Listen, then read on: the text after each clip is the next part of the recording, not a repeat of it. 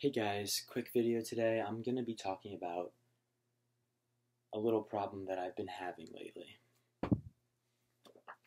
Three things I find wrong with Timothée Chalamet.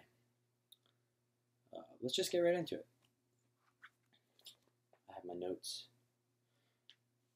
Uh, number one, he's a discount Adriano Tardiolo.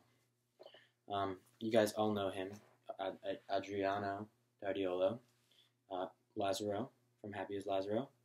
You know, one of the best actors of our time. So, and Timothy's so obviously copying his style. He's trying to look like him. It's really messed up. Um, all right. Uh, the next next problem I have with this guy is he was the inspiration for the Virgin meme.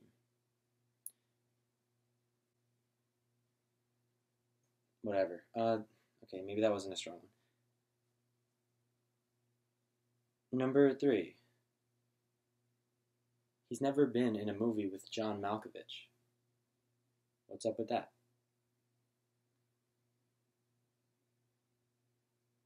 Oh, fuck.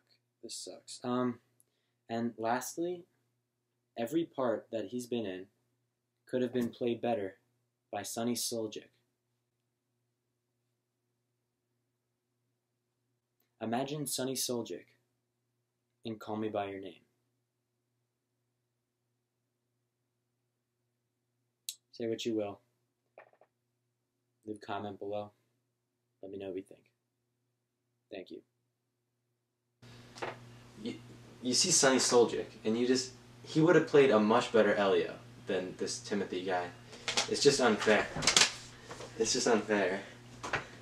Sunny Suljic at 12 could have definitely definitely played a better Elio than um than this guy.